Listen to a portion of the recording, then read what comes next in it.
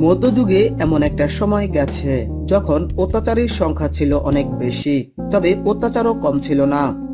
সে সময় যে ভয়ানক এবং অভিনব শাস্তিগুলো অপরাধীদেরকে দেওয়া হতো, তার নৃশংসতা সম্পর্কে আমরা হয়তো ধারণাও করতে পারব না। সেক্ষেত্রে এই শাস্তিগুলোর তুলনায় এখনকার শাস্তিগুলো তেমন মর্মান্তিক নয়। নিচে বর্ণিত তেমন কিছু শাস্তির উদাহরণ দেওয়া হলো। শুলে চড়ানো। শুলে চড়ানো বলতে যা বোঝায় বন্দির হাত পা বেঁধে শোছালো এই দণ্ডের উপর বসিয়ে দেওয়া হতো। শরীরের ভারে তা আস্তে আস্তে গভীরে যেতে থাকতো। এই পদ্ধতিতে বন্দির মৃত্যু হতে এক থেকে দুই দিন, কখনো তিন দিনও লাগতো। বেইমানের দোলনা।